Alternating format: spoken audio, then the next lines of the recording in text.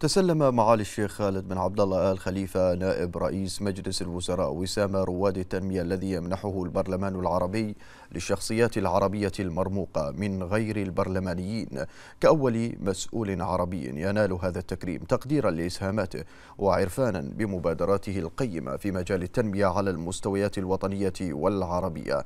وجرت مراسم التكريم في احتفالية أقامها البرلمان العربي اليوم بمقر جامعة الدول العربية في القاهرة بجمهورية مصر العربية الشقيقة وأعرب معالي في كلمة ألقاها خلال الحفل عن تشرفه بإهداء هذا التكريم إلى جلالة الملك المعظم مشيرا إلى أن مملكة البحرين شهدت في عهد جلالته تنمية غير مسبوقة في شتى المجالات بمتابعة واهتمام سمو ولي العهد رئيس مجلس الوزراء. ولفت معاليه إلى أن النظام الديمقراطي في مملكة البحرين والذي يقوم على الفصل بين السلطات مع تعاونها وعلى سيادة الدستور والقانون مشيدا بما أفرزته التجربة الديمقراطية في مملكة البحرين من نخبة كفؤة من أفراد المجتمع وأكد معاليه دعم مملكة البحرين للعمل البرلماني بصفة عامة بما في ذلك البرلمان العربي ومؤازرته لتحقيق أهدافه موضحا أن مملكة البحرين خطت خطوات واقعية وملموسة نحو تحقيق العديد من المنجزات في مختلف مجالات التنمية وهي تواصل طريقها لتحقيق المزيد من النجاحات على صعيد تنفيذ أهداف التنمية المستدامة وتتطلع بعين التفاؤل والأمل إلى مستقبل أفضل للوطن والمواطنين. وعلى صعيد آخر تطرق معالي نائب رئيس مجلس الوزراء في كلمته إلى حتمية التنمية وأحقية البشرية بأن تنعم بمجتمعات آمنة مستقرة وحياة ذات جودة ترعى حرمة الإنسان وكرامته وتتخذ من العدالة الاجتماعية مرتكزا لها لتحقيق فرص متساوية للجميع. وأشار معاليه إلى أهمية اجتماع مجلس جامعة الدول العربية على مستوى القمة في دورته العادية الثالثة والثلاثين والذي ستستضيفه مملكة البحرين في السادس عشر من مايو المقبل والذي سيبحث إلى جانب موضوعات أخرى ملحة ضرورة التوصل العاجل لسياسة واضحة لوقف التصعيد في منطقة الشرق الأوسط وضمان إحلال السلام الشامل والعادل والأمن والاستقرار الإقليمي بوصفه مبدأ استراتيجيا للمضي قدما بعملية التنمية المستدامة. من جانبه أعرب السيد عادل بن عبد الرحمن العسومي رئيس البرلمان العربي في كلمة ألقاها بهذه المناسبة عن الفخر البالغ والاعتزاز الكبير بهذا التكريم المستحق لمعالي نائب رئيس مجلس الوزراء والذي يبعث من خلاله برسالة عرفان وامتنان للدور المقدر والجهود الحثيثة التي كان ولا يزال يطلع بها معالي في مجال التنمية المستدامة.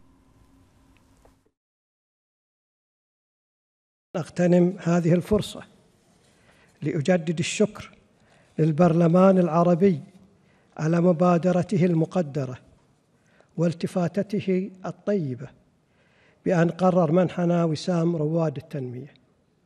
وبقدر ما هو دافع لنا لمواصلة الجهود والمساهمة الفاعلة نحو ما يحقق لمجتمعاتنا تنميتها واستدامة مواردها فإنه ليشرفني أن أهدي هذا التكريم إلى قائد مسيرتنا التنموية الشاملة ورائد نهضتنا الحضارية المباركة سيدي حضرة صاحب الجلالة الملك حمد بن عيسى آل خليفة ملك مملكة البحرين المعظم حفظه الله ورعاه.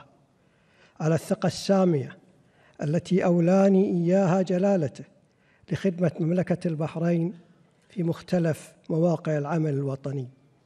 سائلين المولى العلي القدير أن نكون عند حسن ظن جلالته بنا على الدوام.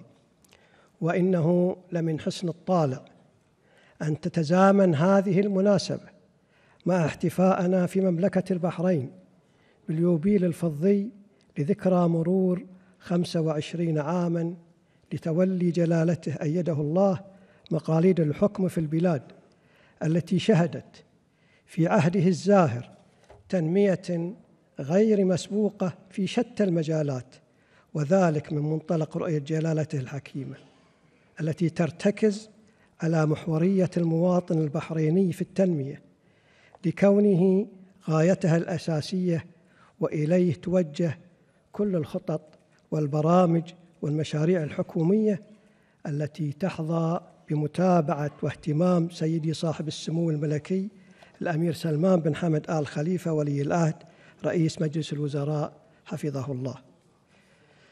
ومما تجدر الإشارة إليه في هذا المقام أن مسيرة الخير والنماء التي تشهدها مملكة البحرين بقيادة جلالته رعاها الله فقد تعززت أركانها بفضل الإيمان بالحقوق السياسية للأفراد ومبدأ الشورى والمشاركة الشعبية في اتخاذ القرار حيث أوجد لنا كل ذلك تجربة برلمانية متطورة قادرة على التكيف مع مختلف الظروف والمتغيرات والصمود أمام التحديات.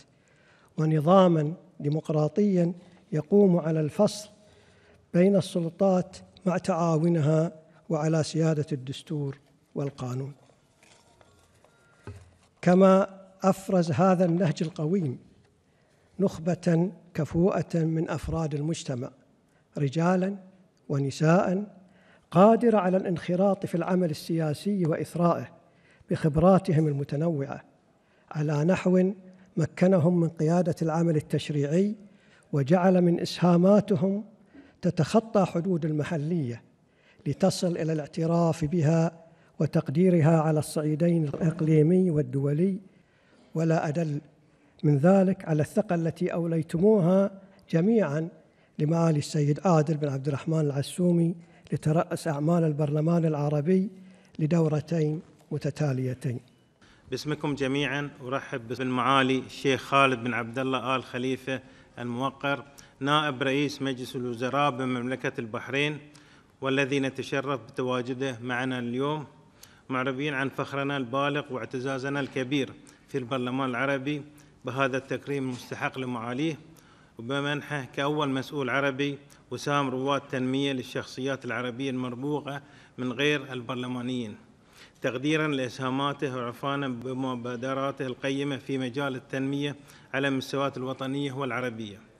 كما يعد معاليه مدرسة متفردة في القيادة التنفيذية والإدارة المتمرسة في العمل الحكومي. وتلك سمات ومهارات اكتسبها من سنوات عمله الممتدة وخبراته المتنوعة والحافلة بالإنجاز. وهو ما أهله إلى نيل الثقة السامية بتعيينه نائبا لرئيس مجلس وزراء لمواصلة عطاءاته الوطنية في ظل مسيرة الخير والنماء التي تشهدها مملكة البحرين بقيادة حضرة صاحب الجلالة الملك حمد بن عيسى آل خليفة ملك مملكة البحرين المعظم حفظه الله ورعاه ومتابعة صاحب السمو الملكي الأمير سلمان بن حمد آل خليفة ولي العهد رئيس مجلس وزراء حفظه الله.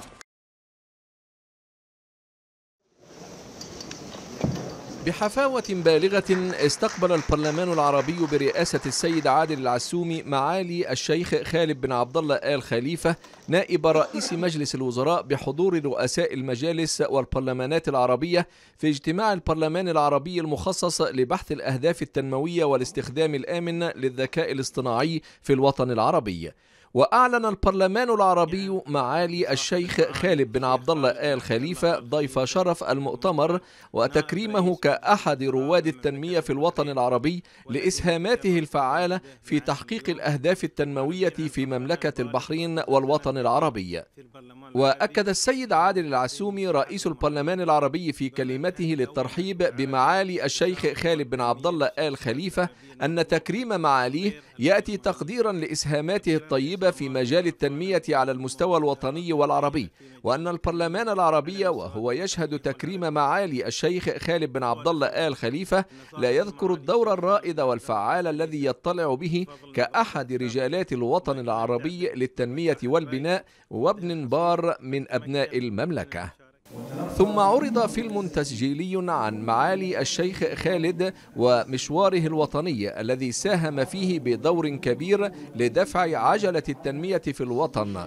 أثبت أنه رجل من الطراز الرفيع وأحد رجالات الوطن التي تحمل على عاتقها تحقيق مستقبل أفضل للمواطنين والوطن.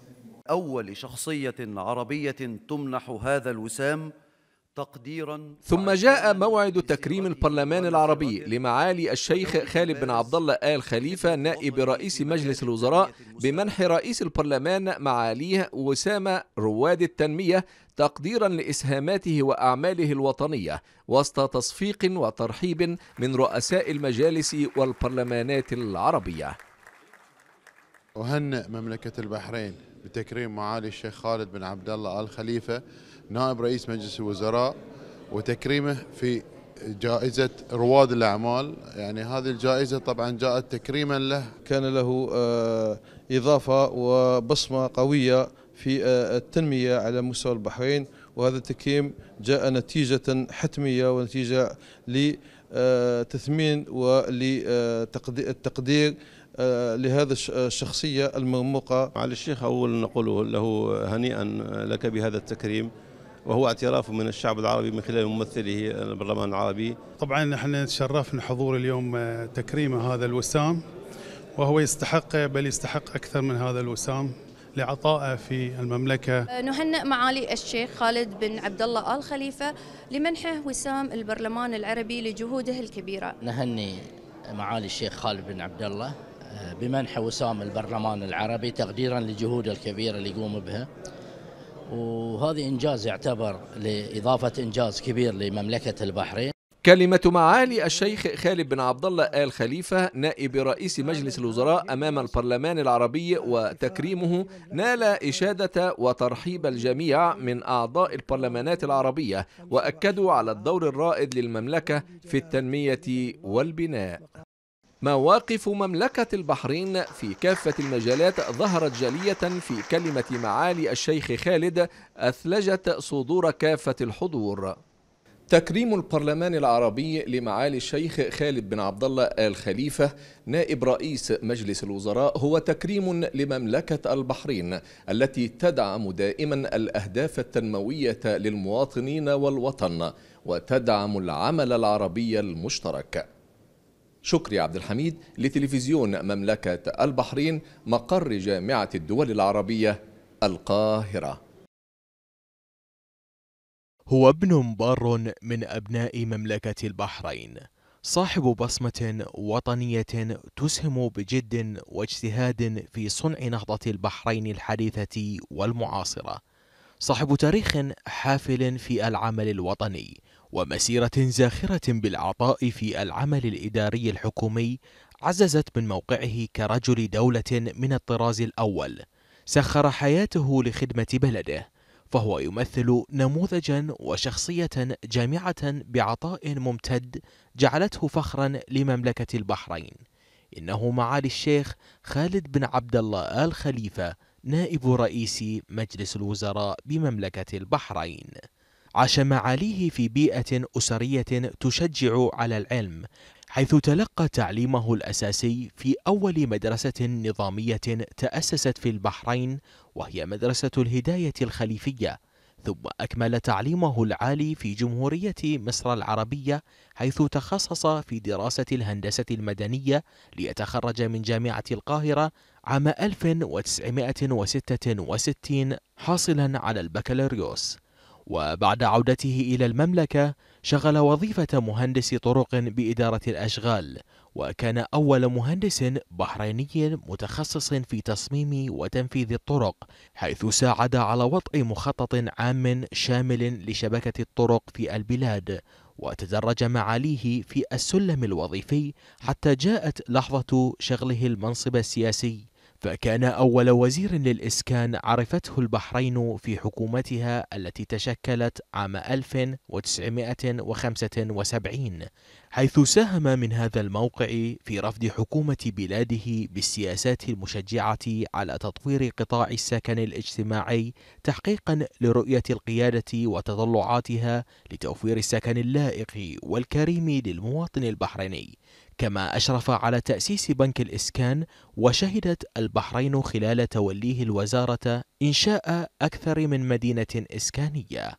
ومنذ العام 2010 فإن معاليه لا يزال يشغل منصب نائب رئيس مجلس الوزراء كما يرأس معاليه اللجنة الوزارية للمشاريع التنموية والبنية التحتية. مكرسا جل ما اكتسبه من خبرات طوال مسيرته الحافلة لخدمة وتطوير هذا القطاع الذي يشهد تطورا متسارعا في مملكة البحرين بفضل ما توليه الحكومة برئاسة صاحب السمو الملكي الأمير سلمان بن حمد آل خليفة ولي العهد رئيس مجلس الوزراء حفظه الله من متابعة واهتمام. ويأتي تكريم البرلمان العربي لمعالي الشيخ خالد بن عبد الله آل خليفة نائب رئيس مجلس الوزراء ومنحه وسام رواد التنمية نظير دوره الرائد وإسهاماته التنموية ومشاركاته الفاعلة في إحداث نهضة اقتصادية في مملكة البحرين.